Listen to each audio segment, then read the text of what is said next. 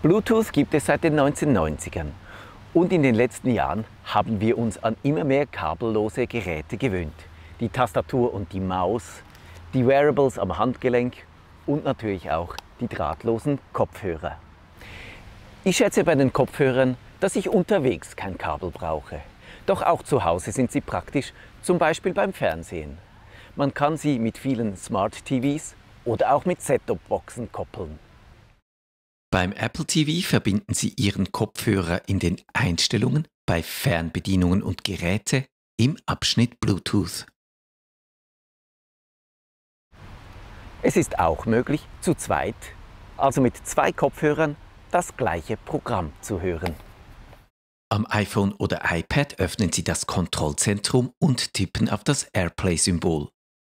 Bei Apple-Kopfhörern erscheint hier der Befehl Audio teilen mit dem Sie das zweite Kopfhörerpaar verbinden.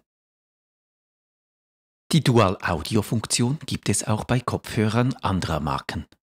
Sie verwenden dann die App des Herstellers, um die Wiedergabe auf dem zweiten Kopfhörerpaar zu starten.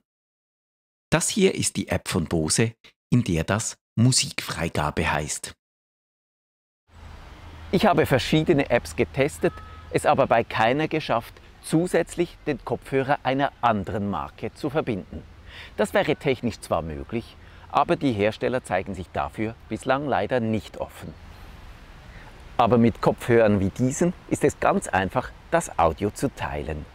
Jeder nimmt einen Stöpsel ins Ohr, was für Telefonate, Hörbücher, Podcasts und auch Filme völlig ausreicht.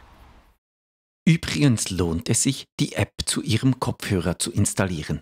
Verwenden lässt sich der Kopfhörer zwar auch ohne diese App, doch je nach Modell gibt es sehr viele Möglichkeiten, den Klang und auch die Bedienung wunschgemäß anzupassen.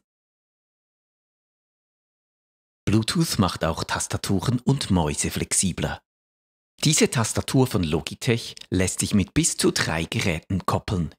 Hier ist sie mit dem Windows 10 PC, einem iPad und einem Mac verbunden. Über diese drei Tasten hier schaltet man zwischen den Geräten um. Genauso funktioniert es mit der Maus.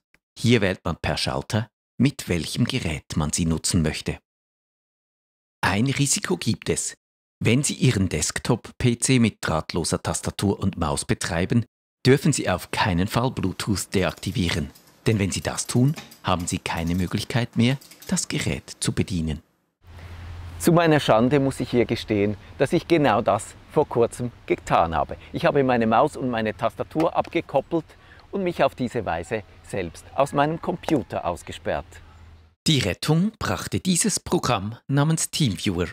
Das habe ich so konfiguriert, dass ich von einem zweiten Gerät aus eine Verbindung herstellen und Bluetooth wieder einschalten konnte. TeamViewer bereitzuhalten ist eine unbedingt empfehlenswerte Vorsichtsmaßnahme.